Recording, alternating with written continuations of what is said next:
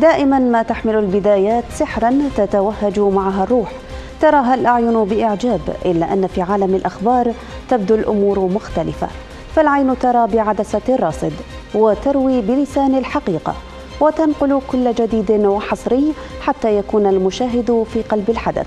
ننتقل من حدث إلى حدث ونحلق من بلد إلى آخر ليكتمل الخبر. نرحب بكم مشاهدينا الكرام في حلقة جديدة من برنامجكم متابعة إخبارية.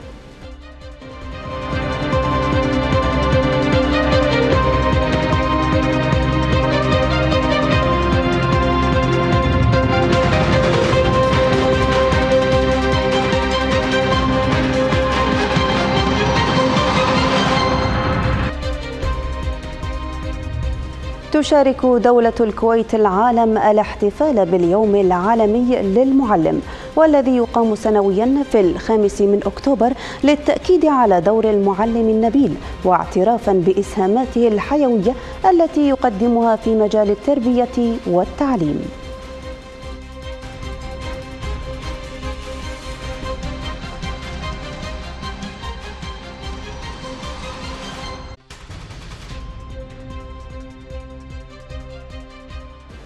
استضافت جامعة الكويت ملتقى لغة الإشارة للجميع الذي يطرح الصعوبات التي تواجه الشخص الأصم في التواصل مع محيطه وتمتد هذه الصعوبات لمن يتواصل معه أيضا مما جعل الكثير من الناس يلجؤون إلى تعلم لغة الإشارة لتأمين الحقوق الأساسية لفئة الصم والبكم.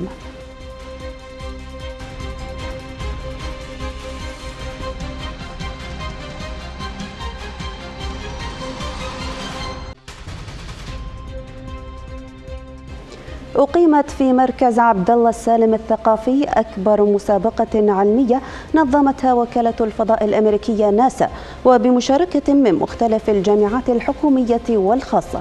وتهدف هذه المسابقة لإلقاء الضوء على التحديات المتعلقة باستكشاف الفضاء وتغيير المناخ وتحسين الحياة على الأرض.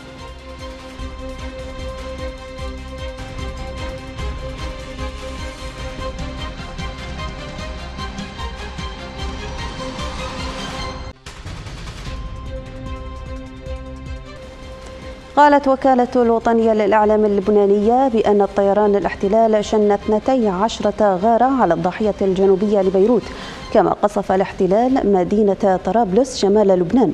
وذلك للمرة الأولى منذ بداية عدوانه على لبنان والتي أسفرت عن مقتل قيادي في حركة حماس وجميع أفراد أسرته. من جهته قال حزب الله اللبناني إنه قصف قاعدة إسرائيلية بصواريخ بجنوب شرقي حيفا كما أعلن أنه استهدف دبابة إسرائيلية بصاروخ موجه في مارون الراس جنوب لبنان.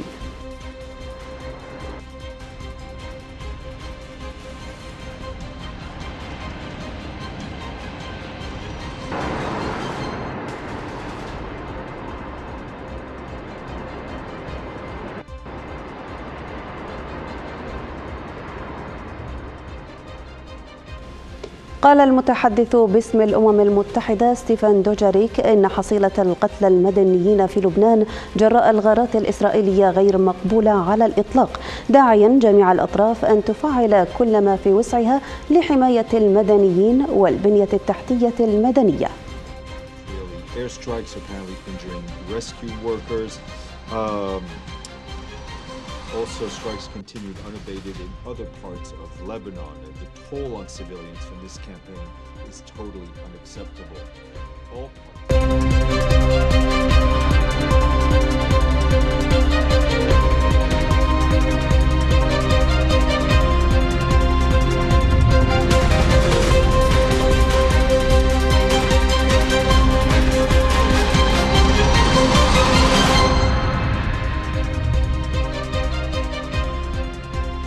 بدأت دول من مختلف أنحاء العالم إجلاء رعاياها من لبنان ولجأت عدد من الدول إلى الطيران التجاري والعسكري وإعداد خطط الطوارئ من أجل إجلاء رعاياها بالإضافة إلى إلحاح بعض الدول على مواطنيها المغادرة في أقرب وقت ممكن وذلك على خلفية تصاعد الغارات الإسرائيلية على الضاحية الجنوبية في لبنان.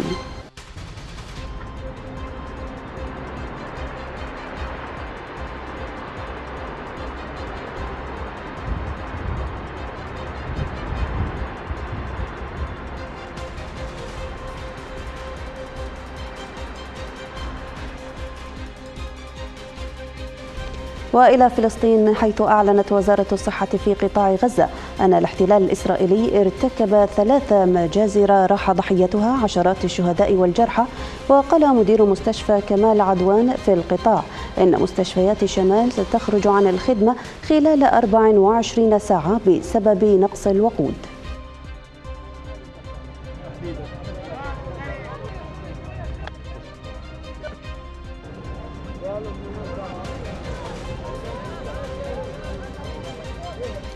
أعلنت وزارة الصحة ارتفاع عدد الشهداء في الضفة الغربية بما فيها القدس برصاص الاحتلال والمستوطنين إلى 741 شهيدا منذ السابع من أكتوبر الماضي. وأوضحت الصحة في بيان أن من بين الشهداء 163 طفلا إضافة إلى تسجيل أكثر من 6000 مصاب.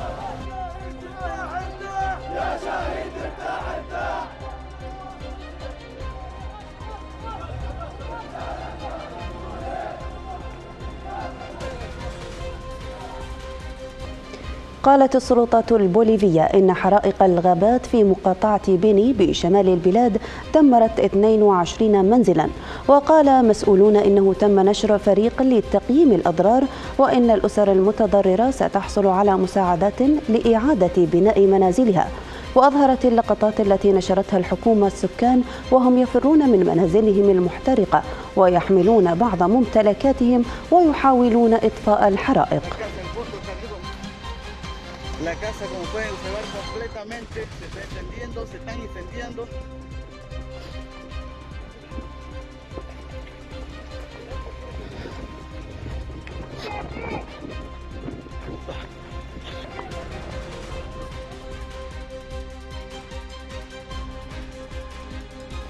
اندلع حريق في مصنع بمقاطعة لانجسون في فيتنام مما أدى إلى تدمير حوالي خمسة آلاف سيارة كهربائية بينما يعمل رجال الإطفاء للسيطرة على الحريق الذي امتد إلى أجزاء أخرى من المنشأة بسبب شدته. ولم ترد أنباء عن وقوع إصابات حيث وقع الحريق خارج ساعات العمل لكن المركبات المخزنة ومعظم الآلات في المصنع دمرت بالكامل وتحقق الشرطة الفيتنامية في سبب الحادث.